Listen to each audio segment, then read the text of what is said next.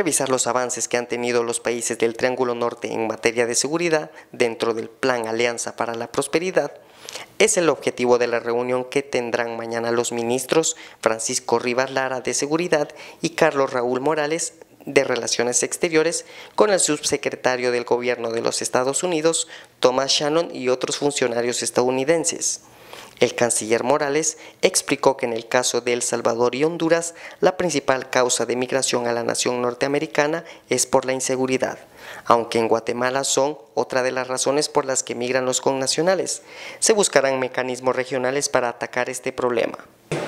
Muchas de estas personas están tratando de llegar a Estados Unidos, al igual que nuestros migrantes, por razones económicas.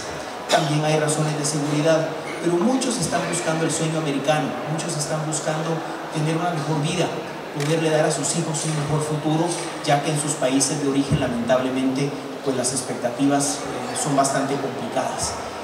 Por su parte, Rivas mencionó que se estará informando acerca de los avances que giran en la lucha con la delincuencia organizada transnacional y los proyectos para el próximo año, enfocados en el plan de la Alianza para la Prosperidad.